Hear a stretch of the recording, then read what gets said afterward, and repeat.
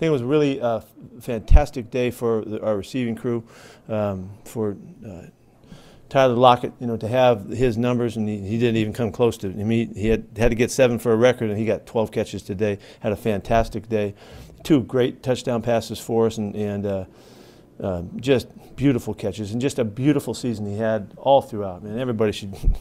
You know, it's almost quiet, quietly because he's just so consistently good. But he had a fantastic year, and he's had a great career, and and uh, really proud for that. Yeah, it was awesome. I think that uh, they both had great seasons.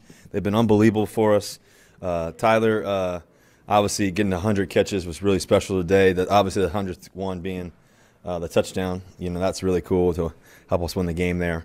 Yeah, it's very special. Um, you know, God is amazing, and you never know what it is that He has planned for you. And you know, I think it just says He could do exceedingly abundantly above all we may ask or think.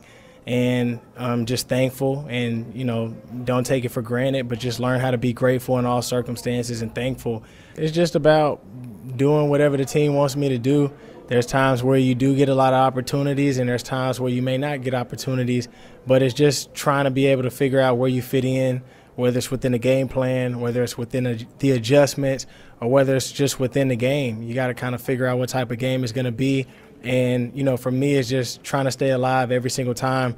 And you never know when you're going to get your chances. But when you do, it's all about being able to make the best out of those opportunities. And that's one of the things that I always try to do is capitalize on those.